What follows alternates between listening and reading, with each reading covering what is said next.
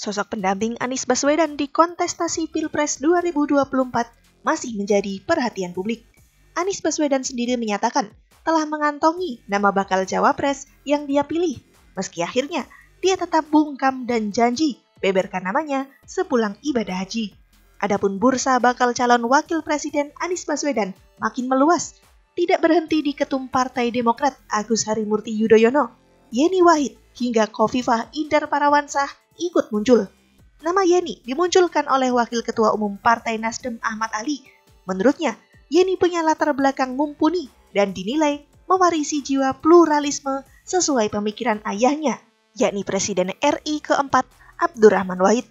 Mantan Sekjen PKB itu juga dianggap punya wawasan kebangsaan global dan sosok yang mewakili Nahdlatul Ulama. Selanjutnya, nama Gubernur Jawa Timur, Kofifah Indar Parawansa juga diikut-ikutkan. Nama Kofifah diusulkan oleh politikus PKS Mardani Alisera. Menurut internal PKS, Kofifah dianggap sebagai sosok keren, punya basis kuat di Jawa Timur yang dinilai mampu memperkuat elektabilitas Anies Baswedan. Kofifah juga dianggap bisa mewakili ide masyarakat Nahdlatul Ulama.